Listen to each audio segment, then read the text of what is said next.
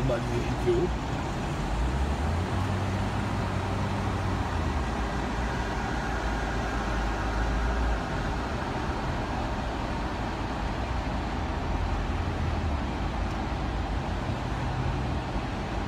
Die Leute fahren Auto, das sieht ja nicht schön aus.